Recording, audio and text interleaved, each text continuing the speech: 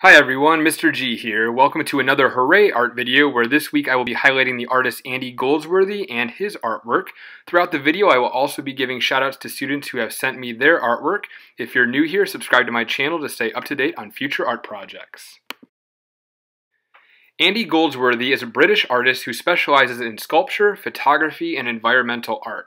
I'm going to show you some of his artwork and then some environmental art that a friend of mine who's also an art teacher made at home, and some examples that I made with my two-year-old son last week.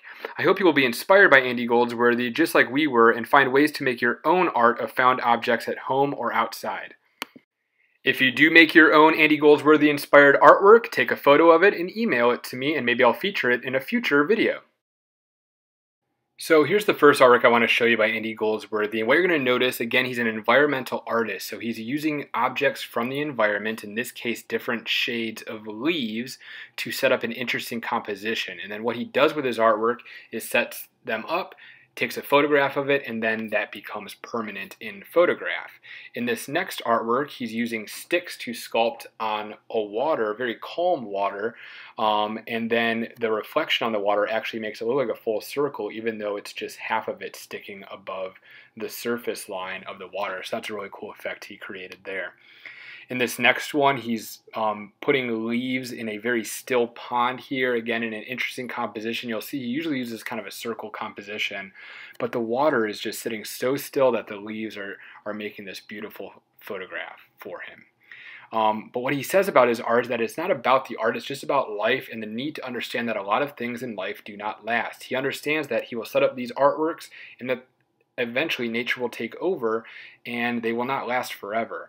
Just like this one here, you can imagine he's setting them up with the green and yellows, but eventually the leaves are going to die and they're not going to have that same effect. And in this case, if the river fills up with more water, that stream is going to rush away those sticks he set up too. Up next are some shoutouts for some students who sent me their graffiti can project. I provided a link above to that video if you would like to create your own um, at home. First up is Scarlett in kindergarten. I love your background with the people that you use. That's a really creative idea. Madeline, also in kindergarten, I love how you use the cool colors blue, green, and purple on your graffiti can. Celia in second grade, I love your use of lines and the directions of lines change and some of your different kinds of lines you used. Eli, I love those swirly lines you did coming out of your spray can. That was a really cool idea. Lacey in first grade, I love your pink spray can and some of those painted colors you used on the wall look really nice. Lila in fifth grade, I love your value used on your can. It looks very realistic and round, and your background looks great. Aaliyah in first grade, I love your hearts that you use throughout your artwork. It really makes it come together nicely. And Elena in kindergarten, really nice job with your spray can and some really cool uh, designs you did on your graffiti wall.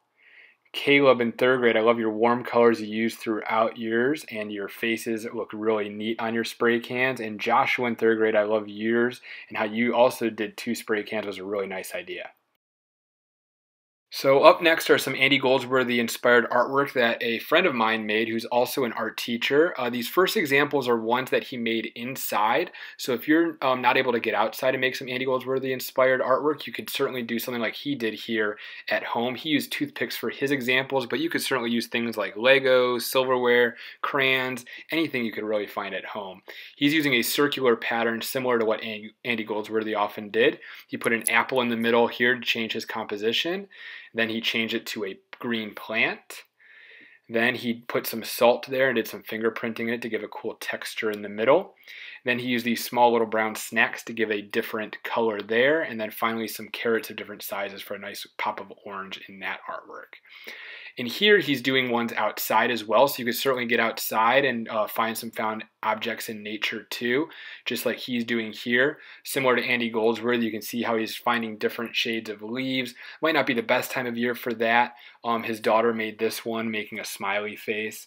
Um, but you can obviously find anything you could use, whether it's sticks, leaves, pine cones, mud, you know, anything that you can use to set up a really neat composition. I love this one where he put different lengths of sticks in these two trees here and made a really cool line effect on that. And back to some student shoutouts. This is for the Gironde artwork and Play-Doh tortoises. I'll also provide some links above for those products if you want to make some at home. Riley in first grade, nice Gironde. I love how you did some really cool angles and some different designs in some of your squares.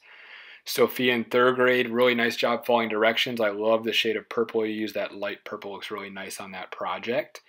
Uh, Play-Doh tortoise here from Channing in first grade. I love that green and blue together. Really nice job on the face detail as well. Liam in kindergarten. I love how you took your tortoise outside. It makes a really nice background for that photo. Grant, I love your use of green on your Play-Doh tortoise. I love green for the tortoise. Uh, looks really nice that way. Hadley in first grade, I love the expression on your tortoise's face, and I see some texture there on the shell. This one is from Jace, Lydia, Zane, and Mindy, who made a whole family of tortoises. Thanks for following along on that video and sending those in. Quinn in kindergarten, I love the little green bow on your tortoise's head. That looks really nice and cute. Gia in first grade, I love orange and blue. That's my favorite combination of colors. Those are complement colors. And Maya in third grade, I love green and red too. Those are also complement colors, look really nice together, and that has some nice circle texture on your shell. Finally, I have some Andy Goldsworthy inspired artwork that I made with my two year old son outside when it was some nice weather outside last week. Um, we used mostly pine cones for our artwork, and then there was another day we went for a walk that uh, we used some other ones I'll show you in a moment. But this one here, we used pine cones. We stood some up in the dirt and then laid some out and put a little green tuft of grass there. I also took another photo here at a different angle just to see, also see sticks standing up in between the pine cones. We also took the pine cones and put them in this really cool shaped tree that we have in our backyard and also used some purple flowers. He really loved to collect those. We also lined them up on our neighbor's fence fence here and took a nice angle of the photograph there. Um, and then here we set them up kind of like a star. And again, the angle of your photograph, that's totally up to you too after you set up your Andy Goldsworthy inspired artwork. This is one that we did on our walk where we used some sticks and some leaves and put them on these pine needles that kind of dried out and turned brown. And so it gave a nice contrast of color to the green in the middle. So hopefully this video inspired you a little bit to make your own Andy Goldsworthy inspired artwork at home. So if you get outside or even if you do it inside, uh, take a photo of your Andy Goldsworthy inspired artwork and email it to me if you're one of my students and maybe I'll feature it in a future Hooray Art video. Until next time, please share this video with others, subscribe to my channel above, or watch other videos now with the links provided here. You can also leave any comments or questions for me down below, and I'll get back to you as soon as possible. And stay positive, always inspire, show creativity, and always be the best version of yourself. And get outside or stay inside and make some Andy Goldsworthy work.